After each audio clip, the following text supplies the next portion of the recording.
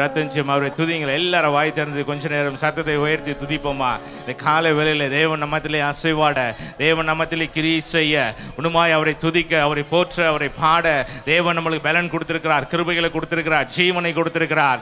ஆண்டு உரையம் நன்றியோடு ஸ்தோத்திரிக்கிறோம் ஆண்டவரே துதிக்கிற துதிக்கிறோம் ஆண்டவரே துதிக்கிறோம் ஆண்டவரே துதிக்கிறோம் ஆண்டவரே. ஆண்டவரே உம்மை நன்றியோடு ஸ்தோத்திரிக்கிறோம். துதிகள் மத்தியிலே வாசம் பண்ணுகிற தேவன் நம்மோடு கூட அசைவாடி கொண்டிருக்கிறார். ஏசுவன் ரத்தஞ்சயம் ஏசுவன் ரத்தஞ்சயம் ஏசுவன் ரத்தஞ்சயம் ஆண்டவரே உம்மை நன்றியோடு ஸ்தோத்திரிக்கிறோம் நன்றியோடு ஸ்தோத்திரிக்கிறோம் நன்றியோடு ஸ்தோத்திரிக்கிறோம். ஆண்டவரே உம்மை நன்றியோடு ஸ்தோத்திரிக்கிறோம் உம்மை துதிக்கிறோம் துதிக்கிறோம் துதிக்கிறோம் துதிக்கிறோம் துதிக்கிறோம் ஆண்டவரே. ஏசுவன் ரத்தஞ்சயம் ஏசுவன் ரத்தஞ்சயம் ஏசுவன் ரத்தஞ்சயம் கல்வாரி சிலுவையில் ஆண்டவரே உம்முடைய ரத்தத்தை சிந்தி ஆண்டவரே ஜீவனை கொடுத்து எங்களை மீட்டெடுத்த தேவனே. எங்களுக்காக ஆண்டவரே எங்களை பாவங்களுக்காக எங்களுடைய சாபங்களுக்காக மறித்து அந்த உயிரோடு எழுந்த தேவனே உம்மை நன்றியோடு சோத்திருக்கிற நன்றியோடு மாட்டவரே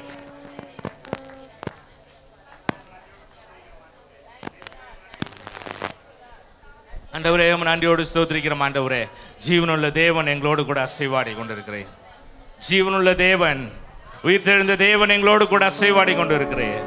உம்மை நன்றியோடு ஸ்தோத்திரிக்கிறோம் ஆண்டவரே. நன்றியோடு துதிக்கிறோம் ஆண்டவரே. நன்றி ஆண்டவரே. கலை ஆராதனை ஆசீர்வதியும். இயேசு நாமத்தில் பிதாவே. லூயா ஹே லை லூயா இந்த பாட்டு பிள்ளை உயிர் தெழுந்தாரே லூயா செய் தெழுந்தாரே. உயிருடன் எழுந்த மீட்ப இயேசு சொந்தமானார் என்ற பாடலை யாரும் சேர்ந்து உற்சாகமாய் கரங்களை தட்டி பாடுவோம்.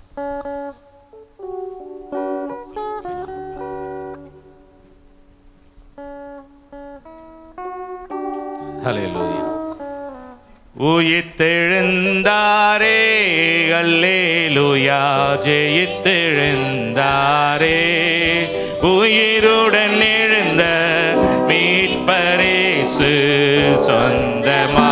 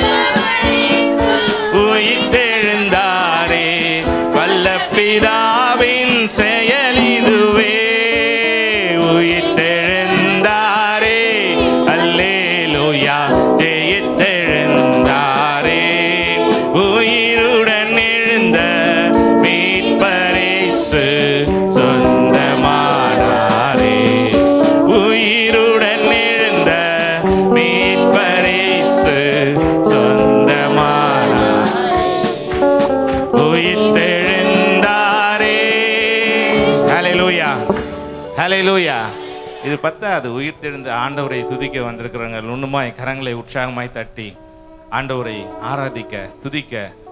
ஒன்றுமாய் ஒருவேளை காலையில் ஆறு மணின்னும் போது ஒருவேளை உங்களுக்கு மிட் நைட்டாக இருக்கலாம் ஒரு சில பேருக்கு. ஆனால் ஒரு சில பேருக்கு நல்லாவே இது மதியான வேலை மாதிரி இருக்கும். ஏன்னா அவங்க வழக்கமாக ரெண்டு மணி மூணு மணி நாலு மணிக்கு எந்திரிக்கிறவங்க. ஹலே லூயா ஹலே லூயா சத்தம் வரலையே. ஹலே லூயா ஹலே லூயா ஹலே லூயா உயிர்த்தெழுந்தாரே அல்லேலூயா. ஜெயித்தெழுந்தா. எல்லாரும் கரங்களை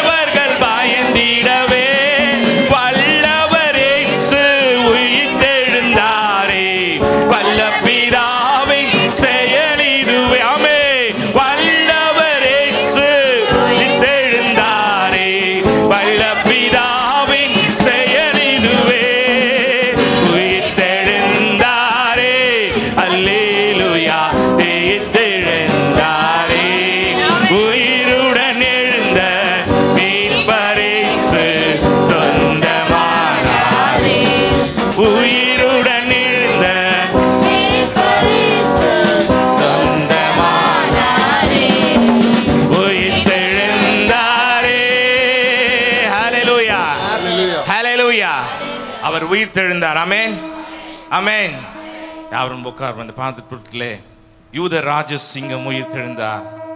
உயிர்த்தெழுந்தார். நகரை செய்து எழுந்தார் என்ற பாடலை யாரும் சேர்ந்து.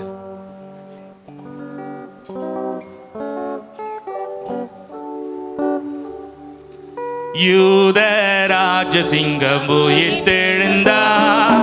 உயிர்த்தெ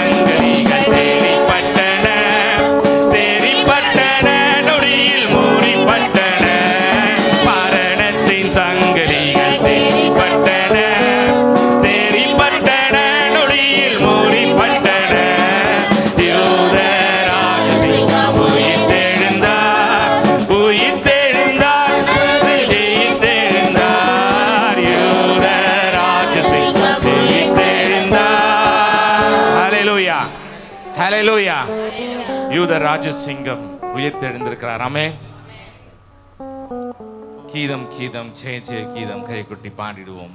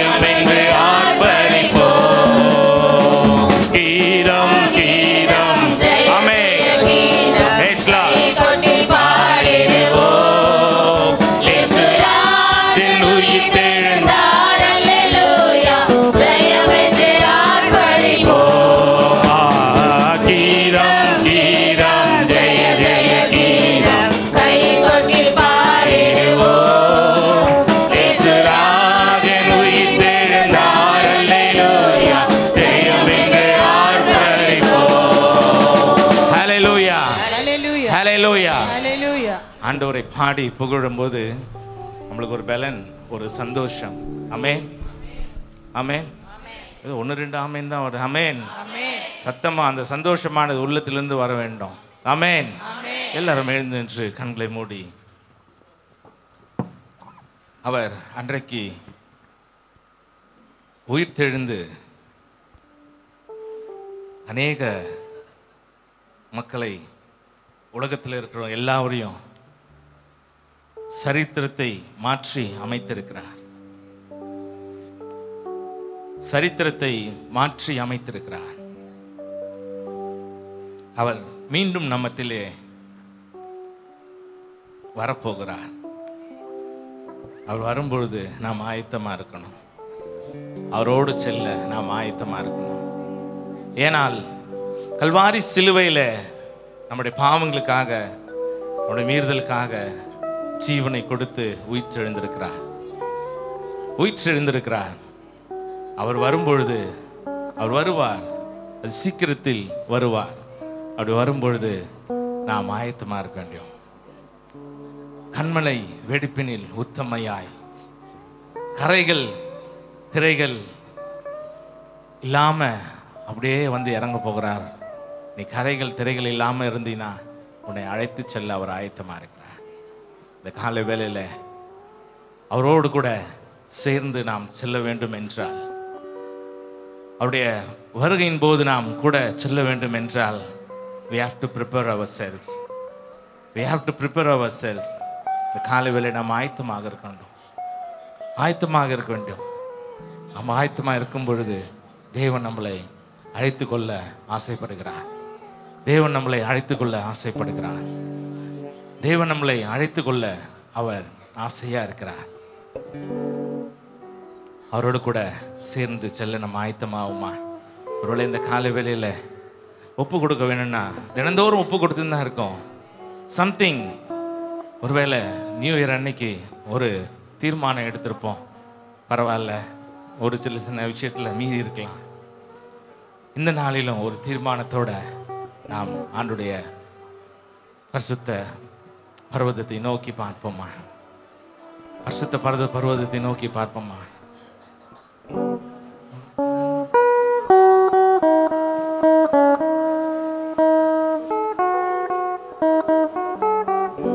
வானில் காகலம் முழங்கிடவே வாஞ்சையோடு பறந்திடுவோம்.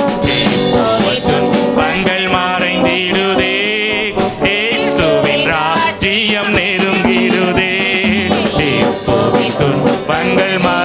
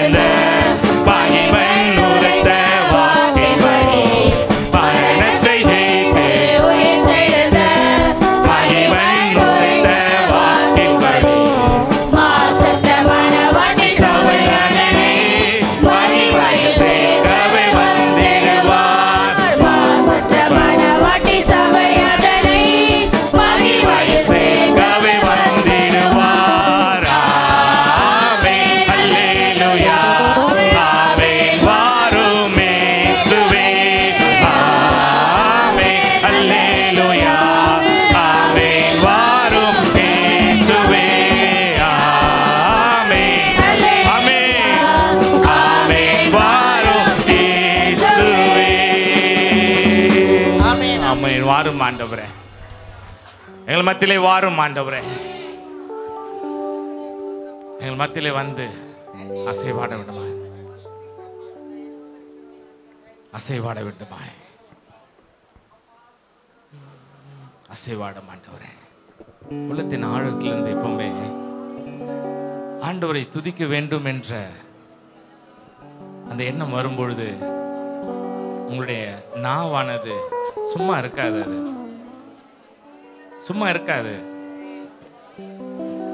நான் நான் அடிக்கடிக்கு சொல்லுவது உண்டு. நீ ஒருவேளை மனசுக்குள்ளவே நீ ஆராதித்து கொண்டே இருக்கலாம் சத்தம் இல்லாம. ஆண்டவர் அறிவார். ஆனா பிசாசு உங்ககிட்ட நெருங்காம இருக்கணும்னா நீ சத்தம் போடணும். உன் மனசுக்குள்ள இருக்கிறது பிசாசுக்கு தெரியாது. உன் மனசுக்குள்ள நீ துதிக்கிறது பிசாசுக்கு தெரியாது. நீ சத்தத்தை உயர்த்தும் போது தான் பிசாசுக்கு தெரியும் ஆண்டவரை துதிக்கிறான் அப்படின்ட்டு. சத்தத்தை உயர்த்தி. சும்மா இந்த கதெல்லாம் பண்ணிட்டு இருக்க கூடாது. சும்மா நான் ஏதோ ஒரு ஈஸ்டர் சர்வீஸ்க்கு வந்திருக்கிறேன். நான் வந்து ஆண்டவரை தொழுது கொள்ள வந்திருக்கிறேன். நான் இத்தனை மணிக்கு வந்துட்டேன். ஈஸ்டர் சர்வீஸ்க்கு வந்துட்டேன் அப்படின்னு அந்த கதை வேண்டாம். கதை பண்ணுறதுக்கு ஆண்டவருடைய சமூகத்துக்கு வரல. ஆண்டவரை தொழுது கொள்ள மாத்திரம்தான் வரோம். யார் வந்திருக்கிறா என்னன்னு பார்க்கறதுக்காக வரல. வாய் திறந்து சத்தமாக ஆண்டவரை துதிங்க. உனக்கு ஆசீர்வாதம் வேணும்னா நீ துதி. உனக்கு வேணான்னா அமைதியா இரு. ஒன்றும் பிரச்சனை இல்லை. வெளியில கூட நிறைய இடம் காலியா இருக்கு. இந்த காலை வேலையிலே ஆண்டுடைய சமூகத்திலே இடுக்கமான வாசல் வழியா ஆண்டுடைய சமூகத்திலே போக வேண்டும் என்றால் கண்டிப்புடனே உன்னுடைய வார்த்தைகளை நீர் ஆண்டவருக்கு சமர்ப்பிக்கும் பொழுது ஆண்டவரே ஆண்டவரே என்று உன்னை தாழ்த்தி துதிக்கும் பொழுது தேவன் கிரியை செய்கிற தேவனா இருக்கிறார். தேவன் கிரியை செய்கிற தேவனா இருக்கிறார். ஒரு மாதம் கழிச்சு ரெண்டு மாதம் கழிச்சு ஒரு வருஷம் கழிச்சு ஆண்டவர் என்னை ஆசீர்வதிக்கல என்று அந்த வார்த்தையை ஆண்டவரை குறை சொல்லாதே. இந்த காலை வேலையில் குறை சொல்லாத தேவனுடைய சனமே ஆண்டவர் அவர் எல்லாவற்றையும் செய்ய அவர் ஆயத்தமாக இருக்கிறார். ஆனால் நீ தேடுறதில்லை. நாம் தேடுறதில்ல. நாம் தேடுறதில்லை. அவனுடைய சமூகத்தில் நீ துதிக்கும் பொழுது அவனுடைய சமூகத்தில் துதிக்கும் பொழுது எனக்கு ஒத்தாசை வரும் பருவதுங்கள் நேராக என் கண்களை ஏறெடுப்பேன் என்று அந்த வார்த்தையின் பிரகாரம். ஆண்டரை நோக்கி உன்னுடைய கண்கள் ஏறெடுக்கும் பொழுது தேவன் கிரியை செய்கிற தேவனாக இருக்கிறார். தேவன் கிரியை செய்கிற தேவனா இருக்கிறார். வாய் தரங்க வாய் தரங்க சத்தத்தை உயர்த்தி துதிங்க. சத்தத்தை உயர்த்தி துதிங்க. சத்தத்தை உயர்த்தி துதிங்க. கத்தர் உன்னை விடுதலையாக்குவார். உடைய சிறையிருப்புகளை மாற்றுவார். உன்னுடைய கடினமான கட்டுகளில் இருந்து உன்னை விடுதலை தருவார். எப்படிப்பட்ட கட்டாக இருந்தாலும் வியாதியாக இருந்தாலும் வேதனையாக இருந்தாலும் மன கஷ்டமா இருந்தாலும் பண கஷ்டமா இருந்தாலும் எதுவாக இருந்தாலும் தேவன் விடுதலை தருவார். விடுதலை கொடுக்கிற தேவன் தான் அவர் விடுதலை கொடுக்கிற தேவன். உன்னுடைய பாவமா உன்னுடைய சாபமா எதுவா இருந்தாலும் பரவாயில்ல. அவர் கண்ணீரை துடைத்திடுவார் உனக்கு சந்தோஷத்தை தருகிற தேவனா இருக்கிறா. ஏஸ்லா தேங்க்யூ ஜீசஸ் உன்னுடைய இயலாமையை வந்து ஆண்டவர் மாற்றி அமைக்கிற தேவன். உன்னால் முடியல அப்படின்ட்டு சோர்ந்து இருக்கிற நேரத்தில் உன்னை கரம் பிடித்து உன்னை தூக்குகிற தேவன். அவர் அழகா உன் அருகாமையில் வந்து உன்னுடைய கண்ணீரை துடைத்து என் மகளே என் மகனை என்று அணைக்கிற தேவன். அணைக்கிற தேவன். பாவங்கள் போக்கவை சாபங்கள் நீக்கவை பூலோகம் வந்தாரையா?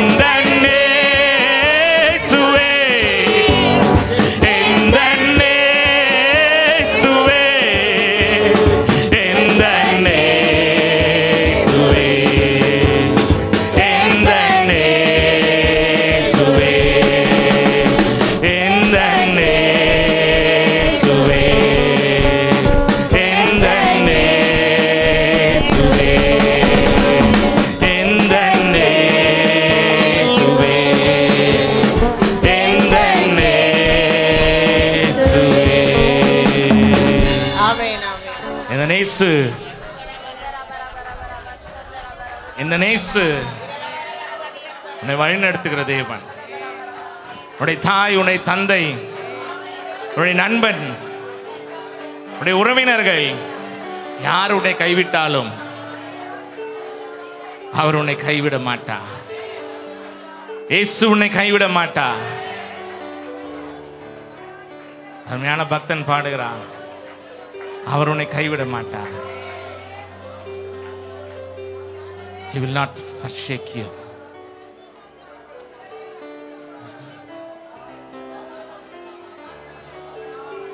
கரங்களை உயர்த்தி இந்த காலை வேலையில் என்னை கைவிடாத தேவனே என்னை கைவிடாத தேவனே என்னோடு கூட இருப்பதற்காக நன்றி என்று நன்றி என்று சொல்ல முடியுமா? வாய் திறந்து.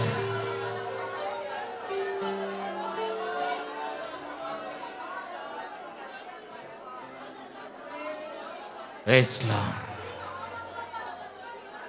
உயிரோடு எழுந்தவரே உம்மை யாராதனை செய்கிறோ. ஜீவனின் அதிபதியே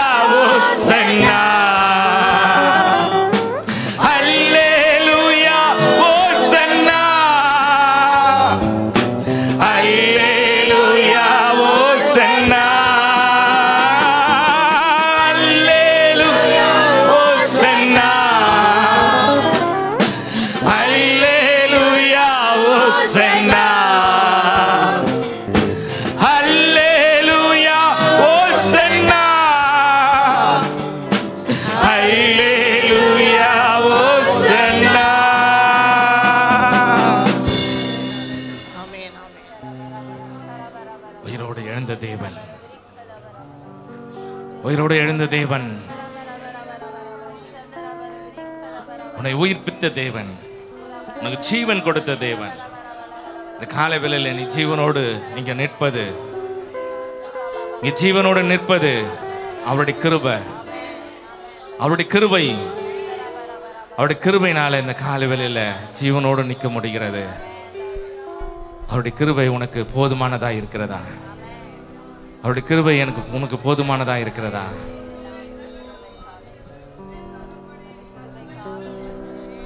அவருடைய கிருபை. உங்க கிருபைதான் என்னை தாங்குகின்றது. கிருபைதான் என்னை நடத்துகின்றது. உங்க கிருபைதான் என்னை தாங்குகின்றது. உங்க கிருபைதான் என்னை நடத்துகின்றது.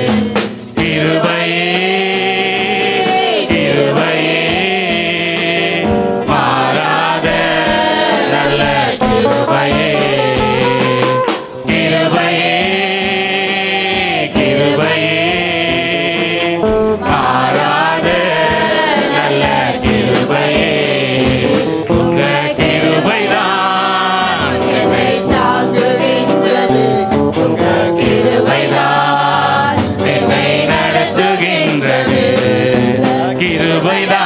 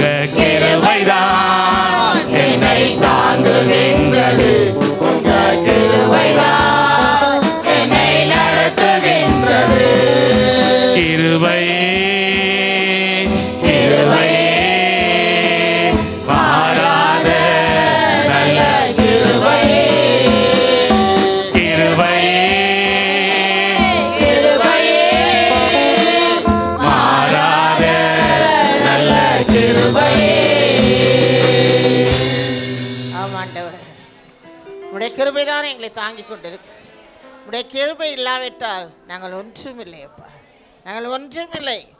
காணாமல் போயிருப்போம். கத்தாவே எங்களை நிலைக்க செய்தது. ஆண்டவரை நிர்மூலமாகாமல் இருப்பது உடைய சுத்த கிருபை ஆண்டவரே. அன்பின் தகப்பனே என் ரட்சகரே உயிர் தெழுந்து இந்த ரட்சிப்பை எங்களுக்கு கொடுத்து ஆண்டவரே உடைய பிள்ளைகள் ஆகும்படி எங்களை தெரிந்து கொண்டவரே உமக்கு கொடான கொடு ஸ்தோத்திரம்ப்பா. நீர் உயிர் தெரிந்த ஆண்டவரே இன்றைக்கு கிறிஸ்தவர்கள் என்று விசுவாசிகள் என்று உலகமெங்கிலும் ஆபிரகாமின் குடும்பங்கள் ஆண்டரை ப பலுகி பெருகி வருகிறதப்பா ஸ்தோத்திரம். இந்த காலை வேளையிலே உயிர்த்திருந்த இயேசு கிறிஸ்துவை ஆராதிக்க வந்திருக்க முடிய பிள்ளைகளை விசேஷமாய் ஆசீர்வதிப்பீராக. இயேசுவி நாமத்தில் பிதாவே. நின்ற வண்ணமாக இருக்குமோ நம்ம மத்தியிலே சங்கீதம் ஜவனா பவித்ரா சங்கீதம் நூற்றி நாற்பத்தி ஒன்பது வாசிக்கு வருவாங்க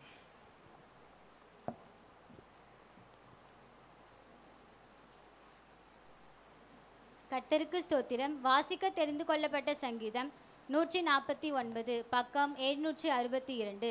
அல்லேலுயா கத்தருக்கு புதுப்பாட்டை பாடுங்கள். பரிசுத்தவான்களின் சபையிலே அவருடைய துதி விளங்குவதாக.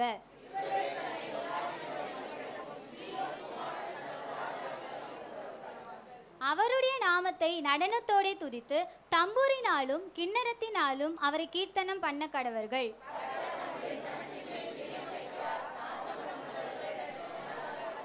பரிசுத்தவான்கள் மகிமையோடே களி கூர்ந்து தங்கள் படுக்கைகளின் மேல் கெம்பிரிப்பார்கள். அவர்களுடைய ராஜாக்களை சங்கிலிகளாலும் அவர்களுடைய மேன்மக்களை இருப்பு விலங்குகளாலும் கட்டவும் எழுதப்பட்ட நியாய தீர்ப்பை அவர்கள் பேரில் செலுத்தவும்.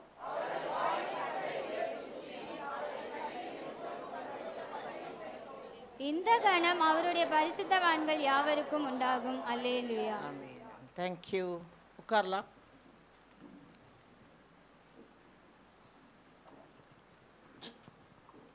கர்த்தருடைய வச நாமத்துக்கு ஸ்தோத்திரம் உண்டாகட்டும்.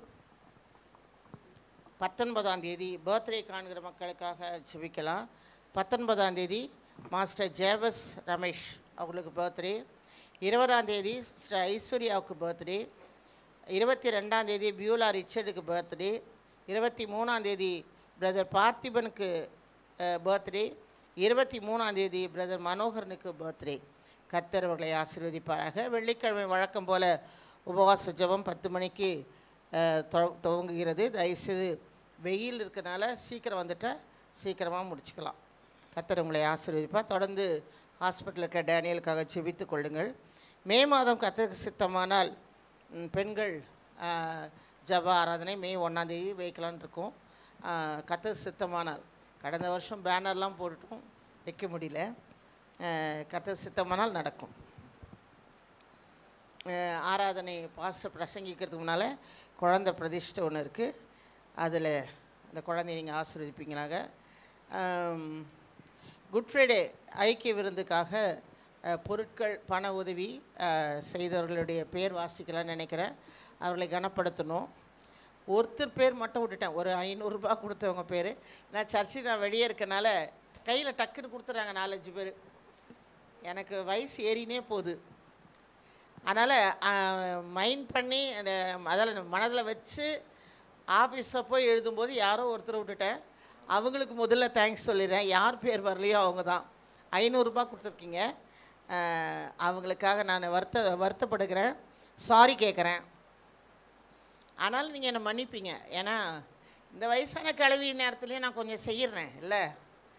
ஆ ஆகையினால ஆகையினால இந்த பொறுப்பெல்லாம் யாராவது சின்னவங்ககிட்ட கொடுத்துடலான்னு நினைக்கிறேன். அவங்க எவ்வளோ ஞாபக சக்தியோடு செய்கிறாங்கன்னு பார்க்கலாம். சரி யாரோ ஒருத்தரது விட்டுட்டேன். தயவுசெய்து என்னை மன்னிச்சிருங்க. அவங்களுக்கு நான் ஃபஸ்ட்டு தேங்க்ஸ் சொல்லிடுறேன். சரியா? மற்றவங்க பொருட்கள் பண உதவி செய்தவர்கள். Sunil Nancy family Anitha Ponnusamy family Nisha அவங்க mother family Manolatha family Suganthi Jerome family miss Soumya Janani and Banu family, Sara Selvam family, Shahida uh, Devaraj family, Joyce Lasser family, uh, Paul Karnagaran and Vasanti family, Charan Navita and Sharama family, Ramya Suresh family, Annie Sampson family, brother Raman Peter, uh, Mariama and Monisha family, Stephen Mercy family, Imerani and Mano, uh, Mona family, Bal Dinakaran and Sheeta family, Komati and Sons family, uh, Sunita Jagan family, Tulasi Kumar family, Regina James family, Esther Kumar family, Elizabeth Charles family, Mary George family, Barney Joshua family, uh, Jesse Johnson family, Sweta Gladys and Giovanna Pavitra, Pavitra, Ammu James family, Siluvai Priscilla family Eunice Vinora family and and யாரோ ஒருத்தர் விட்டுட்டேன் யாருன்னு தயவுசெய்து கேட்டால் வெளியே வந்து நீங்கள் இருந்தீங்களா? அவங்களுக்கு தேங்க்ஸும் சொல்லிக்கிறேன். உதவி செய்த கர்த்தருடைய பிள்ளைகள் எல்லாருக்காகவும் நன்றி சொல்லுகிறேன் நீங்கள் உதவி செய்தது குட் ஃப்ரைடேக்கு மட்டுமில்லை ஈஸ்டர் இன்னைக்கு காலைக்கும் காஃபி கேக் வாங்குவதற்கு அது தாராளமாக இருந்தது. கர்த்தர் உங்களை ஆசீர்வதிப்பார். கர்த்தருக்காக கொடுக்கிறவர்கள் ஒருபோதும் வெட்கப்பட்டு போனதில்லை. பன்மடங்காய் கத்த திருப்பி கொடுப்பாராக. இப்பொழுது கர்த்தருக்கென்று காணிக்கை பாடல் பாட ஜுவனா பவித்ராவும் கிளாடிஸ் சேத்தாவும் வராங்க. கர்த்தருக்கென்று காணிக்கை தாசம் பகத்தர்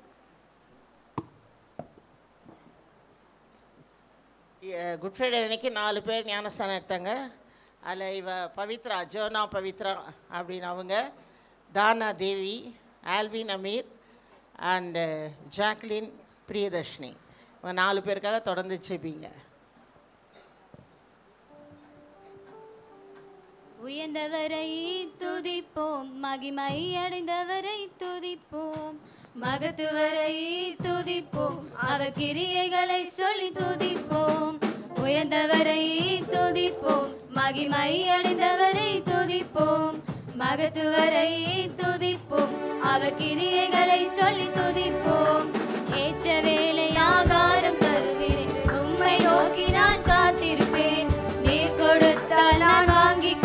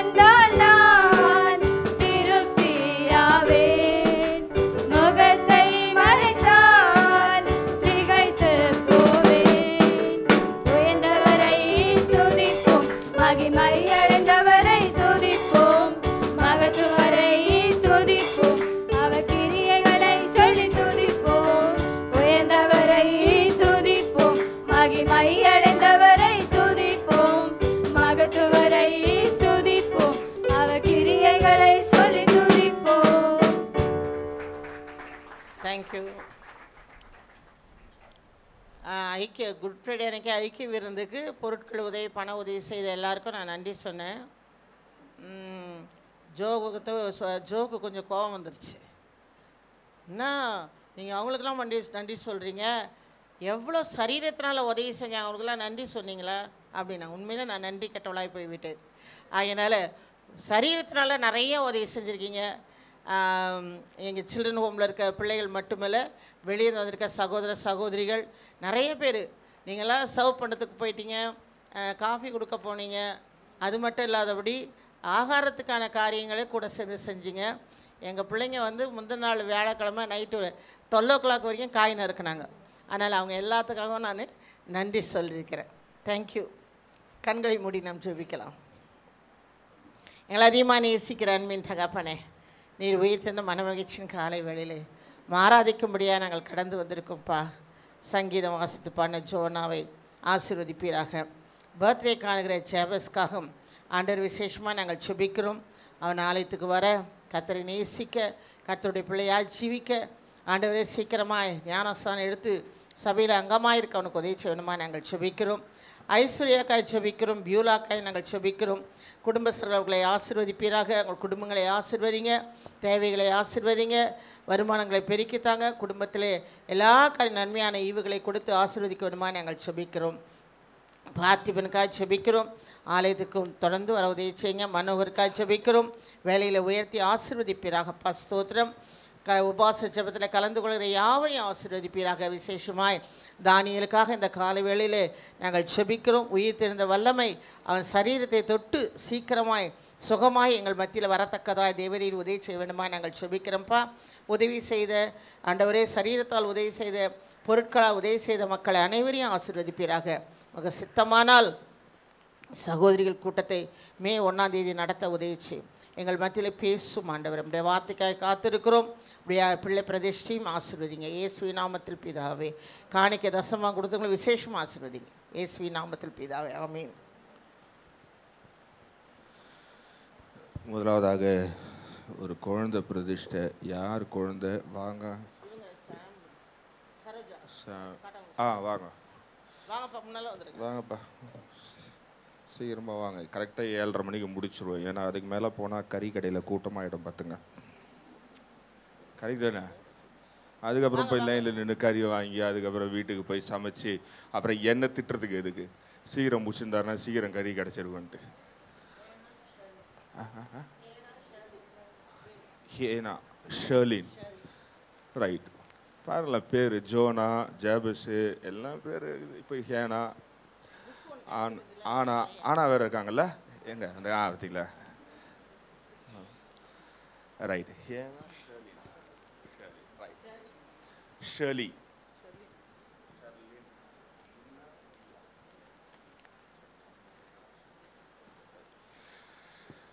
குழந்தைகள் ஆண்டவரால் கொடுக்கப்படுகிற சுதந்திரமாய் இருக்கிறது. இப்போ அந்த குழந்தைகிட்ட நான் எது பேசினாலும் புரியாது. ஆனால் பெற்றோர் ஒரு சில காரியங்களை அறிந்து கொள்ள வேண்டும். முதலாவதாக குழந்தைகள் வந்து எல்லா குழந்தையும் நல்ல குழந்தைகள் தான். அதில் குழந்தையுடைய பிரதிபலிப்பு எதை காட்டுகிறது என்றால் பெற்றோருடைய வளர்ப்பை காட்டுகிறதாய் இருக்கிறது. அப்போ இருக்கிற பெற்றோர்கிட்ட சில காரியங்களை கேட்டு அதுக்கப்புறம் அழகாக இருக்க குழந்தையை நாம் பிரதிஷ்டை செய்ய போகிறோம். பெண் குழந்தைகள் எப்பவுமே அழகு தான் இல்லை? ஏன்னா பொம்பளை பொண்ணுக்கு தான் கடைசி காலத்தில் கவனிக்கும் பாதுகாத்துக்கும் நம்மளை பராமரிக்கும். அதுக்காக ஆம்பளை பசங்க செய்ய மாட்டாங்களா அப்படின்னா செய்ய மாட்டாங்க. ரைட் இப்போ நீங்க ரெண்டு பேரும் ஒன்று திருச்சபைக்கு முன்பதாகவும் ஆண்டவருக்கு முன்பதாகவும் சில காரியங்கள் சொல்ல வேண்டும். என்னவென்றால் முதலாவதாக இந்த குழந்தையை கிறிஸ்துவுக்குள்ள வளர்ப்பதற்கு நீங்கள் ரெண்டு பேரும் ஒப்பு கொடுப்பீங்களா? ரைட் ரெண்டாவதாக இந்த குழந்தைக்கு முன்பதாக எல்லா விதத்துலேயும் முன்மாதிரியாக இருக்கணும். இருக்க முடியுமா? அதுக்காக வீட்டில் சண்டை வராது அப்படிலாம் இல்லை. எல்லாம் வரும். ஆனால் எல்லாவற்றுக்கும் முன்மாதிரியாக இருக்க வேண்டியது கட்டாயமானதாக இருக்கிறது. ஏனென்றால் பெண் பிள்ளைகள் வீட்டுக்கு அழகும் வீட்டுக்கு பெருமை சேர்க்கிறவர்களாய் இருக்கிறாங்க. அப்போது பெண் பிள்ளைகளை வளர்க்கும் பொழுது உலகம் உங்களை பார்க்கும் பொழுது நீங்கள் ஆவிக்குரிய பிள்ளைங்க ஆவிக்குரிய குழந்தைய வளர்த்துருக்கீங்க அப்படின்றதுக்கு நீங்கள் உதாரணமாக இருக்கணும். இருப்பீங்களா? ரைட் ஆலயத்திற்கு நீங்கள் முதல்ல தவறாமல் வரணும். வரும்போது என்ன ஆகும்? குழந்தை வீட்டில் தூங்கிட்டு இருக்குமா? தானாக வந்துடும் ஓகே ரைட் இப்போ இவர்கள் இவர்கள் சொன்னது மாத்திரமல்ல இருக்கிற எல்லா பெற்றோரும் செய்ய வேண்டிய காரியம் என்னவென்றால் ஆண்டவர் கொடுத்த அன்பளிப்பை பத்திரமாய் பார்த்து ஆண்டவருடைய சமூகத்துக்கு கொண்டு வரும் பொழுது ஆண்டவர் ஆசிர்வதிக்கிறவராய் இருக்கிறார். அதுதான் நம்முடைய நம்பிக்கை விசுவாசம். எப்பவுமே ஆண்டு எல்லா குழந்தைக்கும் ஒரு ஒரு திட்டம் வைத்திருக்கிறார். ஒரு குழந்தைக்கு இருக்கிற அதே திட்டம் இன்னொரு குழந்தைக்கு கிடையாது. இன்றைக்கு நம்மத்துல வந்திருக்கிற அருமையான குழந்தைக்கு ஆண்டவர் என்ன திட்டம் வைத்திருக்கிறார் என்பதை நாம் பார்த்து அதில் வளர்க்க வேண்டியது அவசியமானதாக இருக்கு கண்களை மூடி நாம் செபிக்கலாம் நம்மத்தில் அம்மா செபித்த பிறகு நான் செபித்து முடிக்கிறேன். ஸ்தோத்திரங்க தாம ஸ்தோத்திரிக்கிறோமே துதிக்கிறோமே துதிக்கிறங்க தாம ஸ்தோத்திரம் ஆண்டவரே.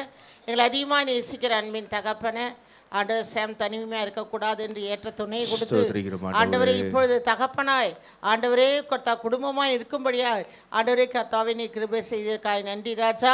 கர்த்தா உங்களுக்கு கொடுக்கப்பட்ட குழந்தைக்காய் நன்றியோடு துதிக்கிறோம். குழந்தைக்கு நல்ல பலத்தையும் சுகத்தையும் தீர்காசியும் நிரகாத்திரமான சரீரத்தையும் தந்து எல்லா விதத்திலும் கர்த்தா ஊழியக்காரர் சொன்னது போல பெற்றோர் வளர்க்க உதவி செய்யுமா நாங்கள் சுபிக்கிறோம். கத்தாவே இந்த வேளையில கத்தாவே ஹேனா ஷலினை ஆசீர்வதிப்பீராக.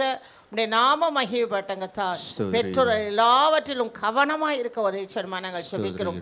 பெண் பிள்ளையா இருக்கிற அப்படின்னால சிறு வயதிலிருந்தே கத்தாவே எல்லாவற்றிலும் கத்தருக்கு கீழ்ப்படிய கர்த்தருடைய அழகுல வளர்க்க தேவரீர் உதவி செய்யும் சபையார் நாங்கள் அனைவருமாய் பிள்ளைகளை வாழ்த்து வாழ்த்துகிறோம் இந்த குடும்பத்தை வாழ்த்துகிறோம். பிதா குமாரன் பரிசுத்த ஆவியான நீர் ஆசீர்வதிப்பீராக. இயேசுவி நாமத்தில் பிதாவே அமே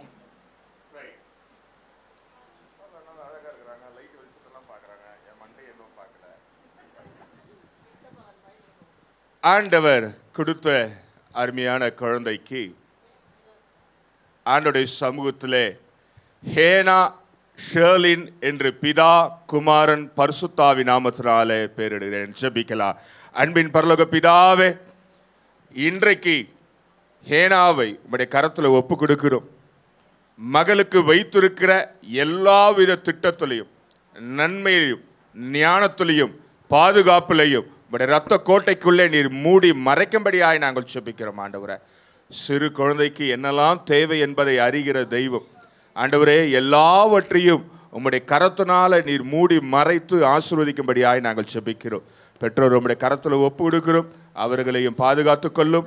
இன்றைக்கு கொடுத்த வாக்குறுதியின்படி குழந்தையை ஆண்டுக்குள்ள வளர்க்கவும் சிறு வயதில் வேத ஞானத்தில் வளர்க்கவும் நாங்கள் ஒப்பு கொடுக்கிறோம் ஆண்டவரை திருச்சபையாய் சேர்ந்து நாங்கள் இவரை ஆசீர்வதிக்கிறோம். ஏசுவின் நாமத்தில் பிதாவே ஆமென்.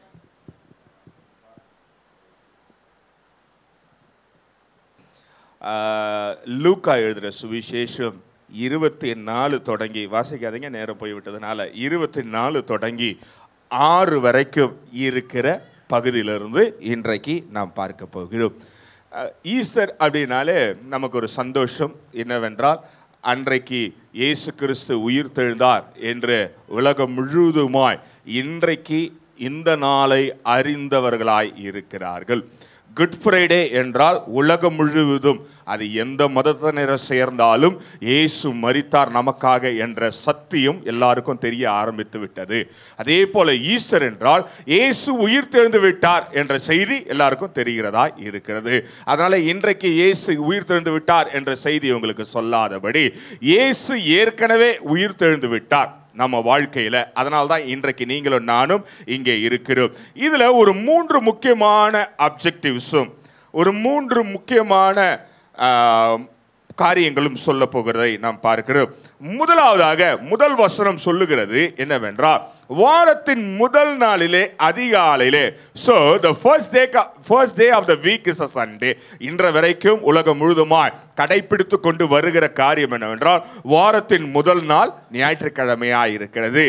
இவங்க அதிகாலையிலே தாங்கள் ஆயத்தம் பண்ணி வைத்திருந்த they have kept already prepared இன்றைக்கு நீங்க ஆயத்தமாய் இருந்தால்தான் இயேசு கிறிஸ்துவை பார்க்க முடியும். இயேசு கிறிஸ்துவை எதிர்நோக்கி பார்க்க முடியும் என்ற காரியத்தை பார்க்க போகிறோம். ஆயத்தம் பண்ணி வைத்திருந்த அப்போ இன்றைக்கு ஒருவேளை இயேசு கிறிஸ்து வாழ்ந்த காலத்தில் இந்த ஸ்திரீகள் அங்க ஸ்திரீகள் மற்ற ஸ்திரீகளை கூட்டுக்கொண்டு கல்லறைக்கு சென்றார்கள் என்று நாம் பார்க்கிறோம். இங்க ஸ்ரீ என்றால் எதை ஒப்பிடுகிறது என்றால் அங்க நடந்த சம்பவத்தை சொன்னாலும் இக்காலத்திலே ஸ்திரீ என்றால் நீயும் நானும் தேவனுடைய ஆலயமாய் இருக்கிறோம் தேவனுடைய ஆலயம் மனவாட்டியாய் இருக்கிறது மனவாட்டி ஸ்திரீக்கு ஒப்பனையாய் இருக்கிறது அப்ப ஆலயத்திற்கு வரும்பொழுது நீங்க ஸ்திரீகளாய் அப்படி என்றால் மனவாட்டியாய் மணவாளனை பார்க்கிறவர்களாய் ஆயத்தமாய் வர வேண்டியது அவசியமானதாய் இருக்கிறது ஒருவேளை இந்த அம்மாக்கள் காலையில் எழுந்த உடனே எப்படியாவது அப்படியே பல்ல வளர்க்காம கல்லறைக்கு ஓடிடலாம் அப்படின்னு ஓடுறாங்கன்னா அப்படி கிடையவே கிடையாது. They have been prepared the whole night to see God's tomb. இயேசுடைய கல்லறை காண்பதற்காக ரா முழுதுமாய் விழித்திருந்து தங்களை ஆயத்தம் பண்ணி கொண்டுதான் கல்லறைக்கு போனாங்க இன்றைக்கு ஒருவேளை நீ ஆயத்தம் இல்லாம ஆண்டவரை காண வேண்டும் என்று இருப்பாய் என்றால் நிச்சயமாய் உன்னுடைய பார்வையில ஆண்டவர் காண்பாரா? அல்லது நீ ஆண்டவருடைய பார்வையில இருக்கிறாயா என்பது தெரியாது. எப்பொழுதுமே ஒரு இடத்துக்கு நம்ம போறோம்னு வைத்துக் கொள்ளுங்களேன். ஒரே ஒரு இடம் தவிர அப்படின்னு சொல்ல முடியாது. அந்த இடத்துல கூட சில பேர்லாம் மேக்கப் போட்டு வராங்க. அந்த இடம் என்னவென்றால் கல்லறைக்கு வரும்பொழுது ஸ்திரீகள் ஆயத்தமாக வந்தாங்க. பைபிள்ல நான் சொல்றது உலகத்துல இருந்தாலும் சிலர் வராங்க. ஓகே அது உங்களுடைய விருப்பம். அப்போ ஒரு இடத்துக்கு போகும்பொழுது நம்ம ஆயத்தப்படுகிறோம். சிலர்லாம் ஒரு வாரத்துக்கு முன்னாடி ஆயத்தம் பண்ணிக்குவாங்களாம். கிறிஸ்மஸ் வருதுன்னா ஒன்னாம் தேதியே வீட்டில் லிஸ்ட்டு போட்டால் தான் அட்லீஸ்ட் இருபதாம் தேதியாவது கையில் வந்து சேரும். ஆயத்தம் உலகத்தில் நம்ம எவ்விதமாய் பண்ணுகிறோம் என்பது தேவையில்லாத ஒரு காரியம் என்னவென்றால் இயேசுவை காண உன்னுடைய ஆவிக்குரிய வாழ்க்கையில் நீ எவ்வளவு ஆயத்தமாக இருக்கிற என்பதுதான் அவசியமானதாக இருக்கிறது. So they have been prepared to go and see the resurrected உயிர் தெழுந்த இயேசுவை காணுவதற்காக அவர்கள் ஆயத்தமாக இருந்தாங்க. அவங்களுக்கு இயேசு எழுந்துட்டார்ன்ற செய்தி தெரியாது. ஆனால் உனக்கு எனக்கும் அப்படி அல்ல. இயேசு உயிர் தெழுந்து விட்டார் என்ற செய்தி நன்கு தெரிந்தபடினால இன்றைக்கு ஒருவேளை இயேசு கிறிஸ்து இங்கே வந்து உன்னையும் என்னையோ அவர் நமக்காய் வைத்திருக்கிற இடத்துல அழைத்து சொல்ல வேண்டும் என்று தீர்மானித்தா நீ ஆயத்தமாய் இருக்கிறாயா என்பதை பார்த்துக்கணும். ரெண்டாவது they took the perfume with them அவங்க ஆயத்தம் பண்ணி வைத்திருந்த அந்த வாசன திரவியங்களை எடுத்துக்கொண்டு போனாங்க. இந்த வாசன திரவியம் யூஸ் பண்ணுறதை குறித்து நான் ஏற்கனவே நிறைய வாட்டி சொல்லியிருக்கேன். இது எதுக்கு யூஸ் பண்ணுவாங்க? ஆதி காலத்தில். அப்படின்னா பிணங்களை சுற்றி நாற்றம் வராமல் இருப்பதற்காய் பயன்படுத்துவாங்க. இப்போ எதுக்கு நீங்கள் பயன்படுத்துறீங்க எனக்கு தெரியல. அப்போது ஒன்று நல்லா தெரிந்து கொள்ளுங்க. அங்கே கல்லறையில் இருக்கிற கல்லறை கல்லை திறக்கும் பொழுது எந்தவித நாற்றம் வராமல் இருப்பதற்காக திரவியங்களை வாசனை திரவியங்களை அவங்க எடுத்துக்கொண்டு செல்ல ஆரம்பித்தார்கள் இன்றைக்கு உன் மேல பாவம் என்ற நாற்றம் அல்லது உன் மேல சாபம் என்ற நாற்றம் நீ எதற்கும் உதவாத என்ற பேர் வைத்திருக்கிற நாற்றத்தை நீ அகற்ற வேண்டும் என்றால் நீ பரலோகம் செல்லுவதற்கு பர்சுத்தாவியானவர் என்ற திரவியம் பர்சுத்தாவியானவர் என்ற வாசனை உன் மேல இருக்கணும். அவரை ஆயத்தமா நீ கையில எடுத்துக்கொண்டாதான் நீ அங்க போகவே முடியும். அப்போ உன்னை கொண்டு போகக்கூடிய காரியம் என்னவென்றால் ஒன்று ரட்சிப்பு இரண்டாவதாக பரிசுத்தாவியானர் மாத்திரம்தான். உன்னை உயிர் தெழுந்த இயேசுவை சிங்காசனத்தில் காண்பதற்காய் ஆயத்தமாய் கொண்டு செல்ல முடியும் என்பதை இந்த காலையிலே உங்களுக்கு சொல்லிக் கொள்ளுகிறேன் அப்போ இந்த ஸ்திரீகள் தேவை prepare with all the things முதல்ல ரெடி ஆயிட்டாங்க. அழகாக ரெடி ஆகியிருப்பாங்க ஏன்னா ஸ்திரீகள் எப்பவுமே ரெடி ஆகும்பொழுது அவங்க தாமதமாய் ரெடி ஆனாலும் அழகாக ரெடி ஆவாங்க. ரெடி ஆனவங்க வெறும் கையோட போல ஆயத்தமாய் சென்றார்கள். இன்றைக்கு நீ நானும் ஆலயத்திற்கு வரும்பொழுது அழகாய் நம்ம வந்திருக்கிறோம். ஆனால் வாசன திரவியத்தை நம்ம எடுத்துக்கொண்டு வந்தோமா என்பதை பார்க்க வேண்டும். மூன்றாவதாக அவங்க தனியா போல மற்ற ஸ்திரீகளையும் கையோடு கோர்த்து கொண்டு இயேசுவை காணும்படியாய் சென்றார்கள். ஒருவேளை இந்த காலையில் நீ தனியா வந்திருக்கிற அப்படின்னா அடுத்த வருஷம் இதே ஈஸ்டருக்கு வரும்போது நான் தனியா வரமாட்டேங்க. இன்னொரு ஸ்திரீயை கூட்டிட்டு வருவேன் அப்படின்னு தீர்மானிங்க. ஸ்திரீ என்றால் ஒருவேளை திருச்சபை என்று நம்ம வேதத்தில் குறிப்பிடுகிறோம். நீ இன்னொரு ஆத்துமாவை கூட்டிட்டு வருவ அப்படின்னா பரலோகம் சந்தோஷப்படுகிறதா இருக்கிறது. அப்போ இயேசுடைய நோக்கம் ஒருவேளை கல்லறைக்கு போவதல்ல இயேசு உயிர் தேர்ந்த நோக்கம் கல்லறையில நான் எழுந்து விட்டேன் என்பதை காண்பிப்பதற்கல்ல. இயேசு பார்த்த காரியம் நீ தனியா வரியா? இல்ல ஆத்துமாவை கொண்டு வருகிறாயா? என்பதை தான் அவர் பார்க்கிறார். மூன்றாவது காரியம். நாலாவது காரியம் என்னன்னா இதெல்லாம் நீ செஞ்சிட்டினா உனக்கு முன்னாடி இருக்கிற கல்லை பெரட்டி ஆல்ரெடி ஆண்டவர் வழியை உண்டு பண்ணி விடுகிறவராக இருக்கிறார். இன்றைக்கு நீயும் நான் என்ன தெரியுமா பண்றோம்? கல்லை குறித்து யோசித்து கொண்டிருக்கிறோம். அந்த கல்லை எப்படி பெரட்டுறதுன்னு தெரியாம ஆராய்ச்சி பண்ணி கொண்டிருக்கோம். கல்லை பெரட்டுறதுக்கு உபவாசம் இருந்து ஜெபித்து கொண்டிருக்கிறோம். கல்லை பெரட்ட எங்கேயாவது தீர்க்கதரிசனம் சொல்லுவாங்களா? இல்ல யாருக்கிட்டயா போய் ஜோம் பண்ணா? அந்த கல்லை பரட்டிடலாமா அப்படின்னா அப்படிலாம் கிடையாது. நீ ஆயத்தமா இருந்து வாசனை தரவை எடுத்துக்கொண்டு நீ ஸ்திரீகளை ஆத்தும் அறுவடை செய்து கொண்டு உன் வாழ்க்கையை நடத்தும் பொழுது உனக்கு முன்னாடி இருக்க கல்லு தானாவே உருண்டு தூர போய் கிடக்கும் பார்த்துங்க. இன்றைக்கு நீயும் நானும் உயிர் தெழுந்த ஆராதனையில் வந்து கலந்து கொண்டிருக்க நோக்க நத்திரமா உனக்கு முன்னாடி இருக்க கல்லை ஆல்ரெடி தள்ளிட்டார் ஆண்டவர். ஆனால் நம்ம என்ன நம்ம பண்ணுறோம் இந்த ஸ்திரீகளுக்கு இருந்த கலக்கம் என்னவென்றால் ஆறாவது வசனத்தில் ஐந்தாவது வசனத்தை வாசி பார்ப்பீங்கன்னா அவர் கலக்கம் அடைந்தார். எது தெரியுமா? உள்ள போய் பாடியை காணும். உள்ள போய் they were already presumed that there is a body in the tomb அந்த கல்லறையில் ஏற்கனவே ஒரு சடலம் இருக்கிறது என்பதை மண்டை லெவலில் அவங்க யோசித்தபடினால அவங்க என்னத்தை பார்த்து தேடிக்கொண்டிருந்தாங்கன்னா பாடியை தான் தேடிக்கொண்டிருந்தாங்க இன்னைக்கு நிறைய பேர் அப்படிதாங்க. ஆலயத்துக்கு வருகிறோம். உயிர் தெழுந்த ஆண்டவரை ஆராதிக்க தீர்மானித்து விடுகிறோம். ஆனால் இங்கே வந்து என்ன தெரியுமா தேடுறோம்? பாடி இருக்குதான் தேடுகிறோம். ஒருவேளை இந்த காலையில நீ பாடியை தேடிக்கொண்டு இங்கே வந்திருப்பாய் என்றால் அவர் இங்கே இல்லை. அவர் உயிர் தெழுந்து விட்டார். ஹலலுயா அப்போ இந்த ஸ்திரீகள் இடத்துல ஐந்தாவது பெரிய டிராபேக் முதல்ல நாலு காரியம் அருமையான காரியம். அவங்க எடுத்துட்டு போன மூணு காரியம் நேர்த்தியான காரியம். ஆண்டவர் செய்த காரியம் அருமையான காரியம். ஆனால் உள்ள போன பிறகு இவங்க கலங்கி கொண்டிருந்தாங்க. ஐயோ யாரா திருடிட்டு போயிட்டாங்களோ. நீங்கள் சுவிசேஷங்களை வாசித்து பார்ப்பீர்கள் என்றால் ம- சீசன் இடத்துல போய் சொல்கிறாங்க நாங்கள் போனோம் பாடியை காணோம். இயேசுவி சரீரத்தை யாரோ தூக்கி கொண்டு போயிட்டாங்கன்னு. பேதரும் அடிச்சு தலை தெறிக்க ஓடி வந்து பார்க்குறான். ஆனால் உயிர் தெழுந்தவர் அங்கிருந்து பாடியோடு தான் போயிட்டார். ஒருவேளை இந்த காலையில் நீ எதையாவது இங்கே கண்டுபிடிக்கலாம் எதையாவது பணத்தை பார்க்கலாம்னா பணம் இங்கே இல்லை. எழுந்து விட்டா. உன் வாழ்க்கையில் ஏசு என்றைக்கு எழுந்து விட்டா. உன் ஸ்- உன் மூளையில் எதையாவது ஆதாரம் கிடைக்கும் எதையாவது நாம் எடுத்துக்கொண்டு செல்லலாம் அல்லது இங்கே எதையாவது பார்க்கலாம் அப்படின்னு வருவாய் என்றா ஒன்னே ஒன்று பார்க்க தீர்மானி பர்சுத்தாவியான உன்னை ஆளுகை செய்வார் என்று வெளிச்சத்துடன் இரண்டு தூதர்கள் அங்கே அமர்ந்திருந்தார்கள். தூதர்களை குறித்து பார்க்கும்போது எப்பவுமே அருமையான விஷயம் என்ன தராங்க wherever the angel came there was a remarkable thing happen in the பூமியில் பூமியில எப்பெல்லாம் தூதர்கள் வந்தார்களோ அப்பெல்லாம் பெரிதான காரியங்கள் நடந்தது.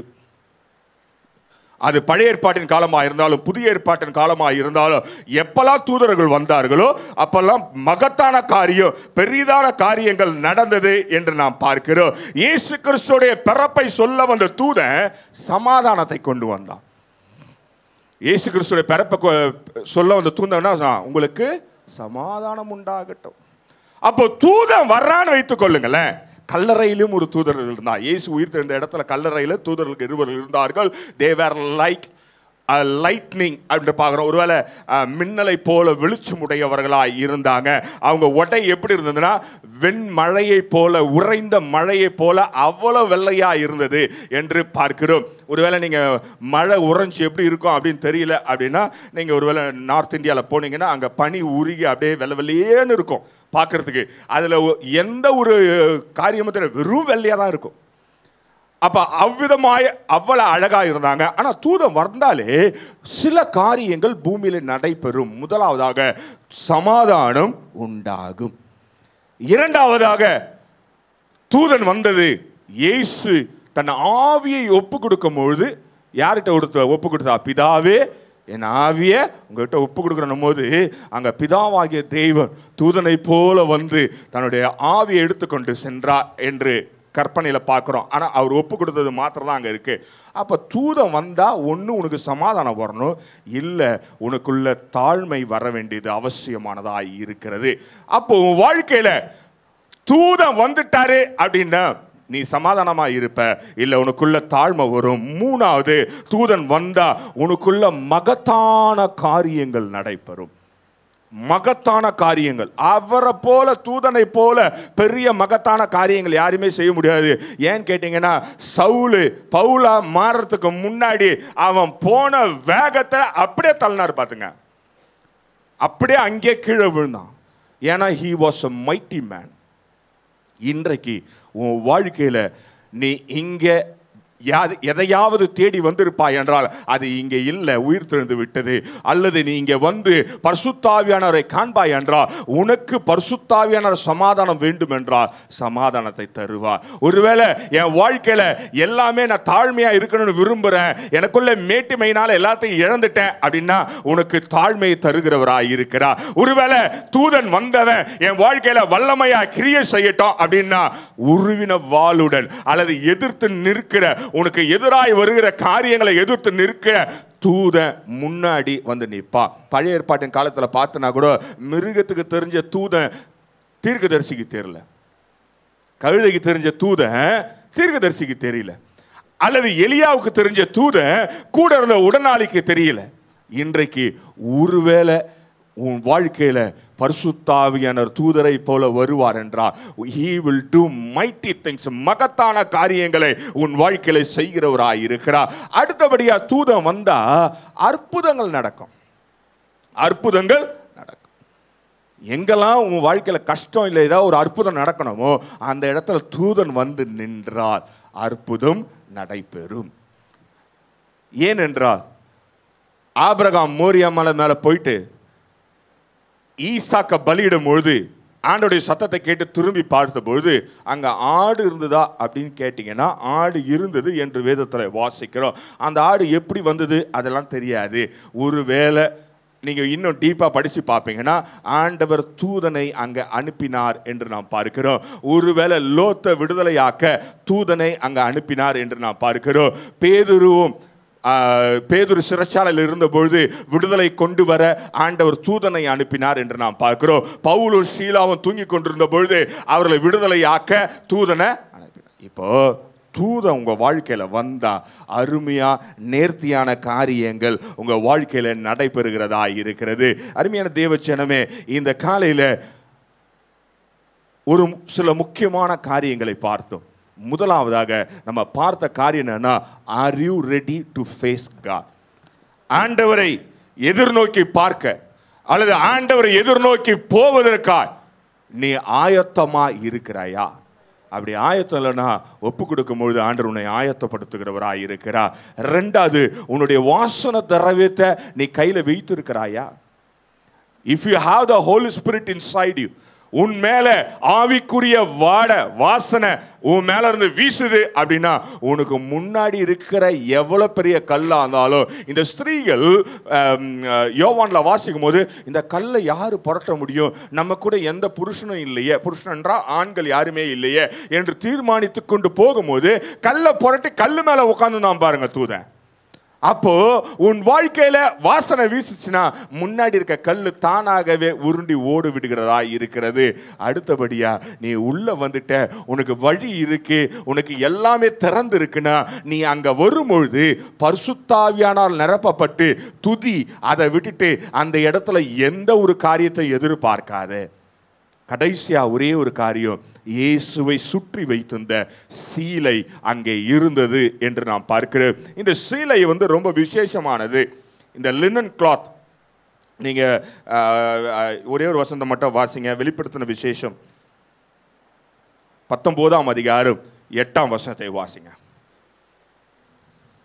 சுத்தமும் பிரகாசமான மெல்லிய வஸ்திரம் சுத்தமும் பிரகாசமான மெல்லிய வஸ்திரம் தரித்துக்கொண்டு தரித்துக் கொள்ளும்படி அவளுக்கு அளிக்கப்பட்டது.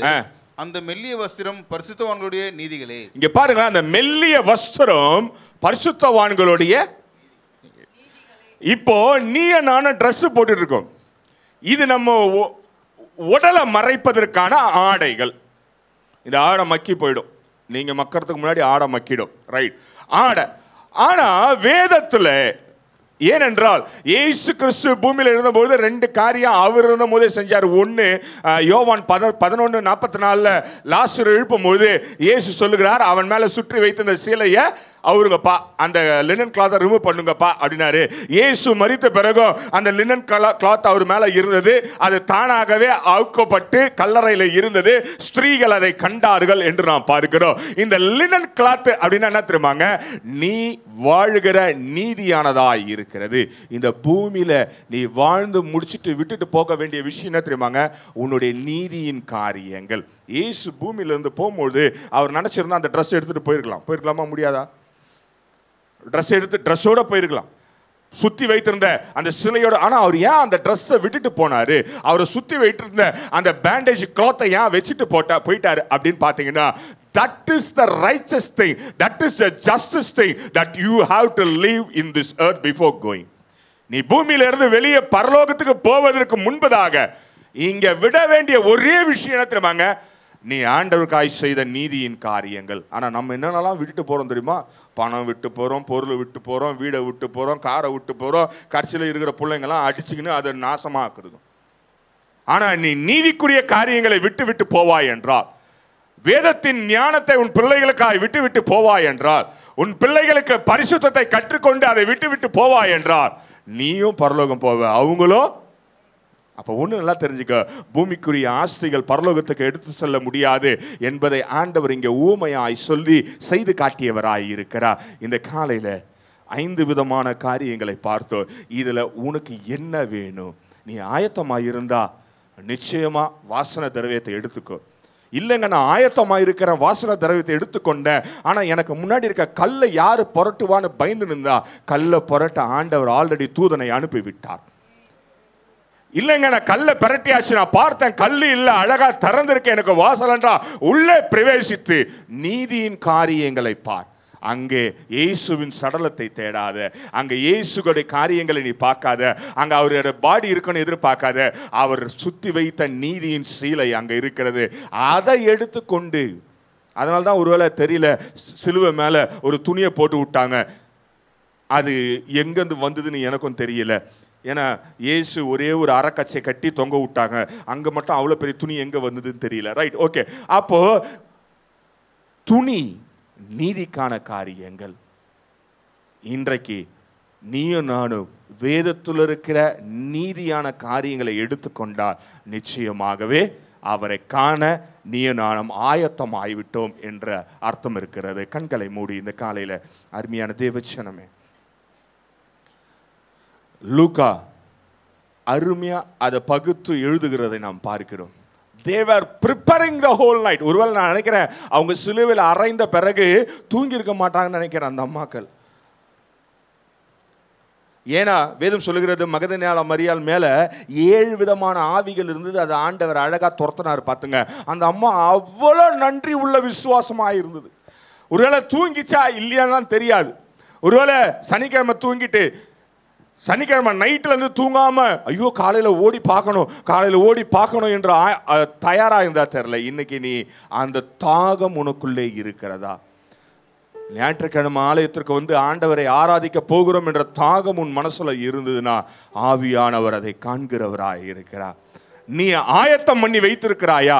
உன் வாழ்க்கையை உன் ஜீவியத்தை உன்னுடைய காரியங்களை பர்சுத்தாவியானவருக்கு நேராக நீ ஆயத்தம் பண்ணி வைத்திருக்கிறாயா என்பதை ஆராய்ந்து பார்க்க வேணும் if you have been prepared take the perfume உன் மேலே பூசிக்க சொல்லலை. எடுத்துக்கோ. பரிசுத்தாவியானர் உனக்கு நீதியா? உன்னை சுத்திகரிக்க எடுத்து வைத்துக்கோ. பரிசுத்தாவியானர் மாத்திரம்தான் உன்னை என்னை பரலோகம் கொண்டு போகவே முடியும். வேற எதுவுமே கிடையாது. நல்லா வைத்துக்கொள்ளுங்க அப்படி என்றால் உன்னுடைய வாசனை வீசுகிற உன் மேலே இருக்கிற துருநாற்றத்தை அகற்றுகிற உன் மேலே இருக்கிற பாவி என்ற பேரை அழிக்கிற உன் மேலே இருக்கிற நீ எல்லாத்திலையும் சபிக்கப்பட்டவன் என்ற காரியங்களை அழிப்பதற்கான வாசனை பரிசுத்தாவியானவராயிருக்கிறார் இந்த காலையில் எடுத்துக்கொள்வாய் என்றால் உனக்கு முன்னாடி இருக்கிற கல்லை ஏற்கனவே ஆண்டவர் உரு உருட்டி தள்ளி விட்டார் ஒருவேளை இந்த அம்மா அங்கே ரெடியாக போகல அப்படின்னா அந்த கல் நவுந்துருக்குமா அப்படின்னா தெரியாது. ஒருவேளை அந்த கல்லை பெரட்ட முடியாத அந்த அம்மாங்களாம் கஷ்டப்பட்டிருந்தா தெரியல அதுவும். ஆனால் இவங்க ரெடியாக இருந்ததுனால அவரும் ரெடி ஆயிட்டார். நீ ஆயத்தமாக இருந்தால் தூதன் உனக்கு முன்பதாய் ஆயத்தமாக இருப்பான் எந்த தூதன் வேணுமோ அந்த தூதன் ஆண்டவர் இந்த காலையில் உனக்கு கட்டளையிடுகிறவராக இருக்கிறார் உனக்கு சமாதானம் வேண்டுமென்றால் சமாதானத்தை தருகிறவர். உனக்கு ஆண்டவரே எனக்கு தாழ்மையை கற்றுத்தாங்க அப்படின்னா தாழ்மையுள்ள தூதனை அனுப்புகிறவராக இருக்கா இல்லை ஆண்டவரை எனக்கு மகத்துவமான வல்லமை நிறைந்த தூதனை அனுப்புங்கப்பா அப்படின்னா he will send the mighty angel in your life இல்ல ஆண்டவரே எனக்கு அதிசயங்களை செய்கிற தூதனை அனுப்புங்க அப்படின்னா இன்றைக்கு உன் வாழ்க்கையில அதிசயங்களை செய்கிற தூதனை ஆண்டவர் உன் வாழ்க்கையில அனுப்புகிறவராய் இருக்கிறார். ஆலயத்திற்கு வரும்பொழுது நீதிக்குரிய காரியங்களை தேடுங்க. அது மாத்திரம்தான் உன்னை பரலோகம் அழைத்து செல்லுகிறது. அது மாத்திரம்தான் உயிர்த்தெழுந்த ஆண்டவரை மகிமைப்படுத்துகிறதா இருக்கிறது. அன்பின் பரலோக பிதாவே இந்த காலையில் என் வாழ்க்கையில் நான் இனி இனி ஆயத்தமாயிருப்பேன். ஆண்டவரை எதிர்கொள்வதற்காய் என் ரட்சகரை காண்பதற்காய் என் வாழ்க்கையை ஆயத்தப்படுத்திக் கொள்வேன் என்று தீர்மானித்து ஒப்பு கொடுத்து இன்றையிலிருந்து ஆயத்தம் பண்ண காத்து கொண்டிருக்கிற ஒவ்வொருவரையும் பரிசுத்தாவியானவர் ஆயத்தம் பண்ணும்படியாய் நாங்கள் செபிக்கிறோம் ஆண்டவரே. எங்கள் வாழ்க்கையில் இந்த உலக வாசனை வேண்டாம் ஆண்டவரை. உலக பர்ஃப்யூமோ சென்ட்டோ எதுவுமே வேண்டாம் ஆண்டவரை. பரிசுத்தாவியானவருடைய வாசனை பரிசுத்தாவியானவருடைய கிரியைகள் எங்கள் மேலே வீசும்படியா? நாங்கள் அதை அவரை எடுத்துக்கொள்ளும்படியா? எங்கள் வாழ்க்கையில் எல்லா விதத்திலையும் பரிசுத்தாவினர் எடுத்துக்கொள்வேன் என்று தீர்மானித்தவர் ஒவ்வொருவரையும் ஆசிர்வதியும். காலையில் ஆராதனை கலந்து கொண்ட ஒவ்வொருவரையும் ஆஸ்- ஆசிர்வதியும். இயேசுவின் நாமத்தில் பிதாவே ஆமே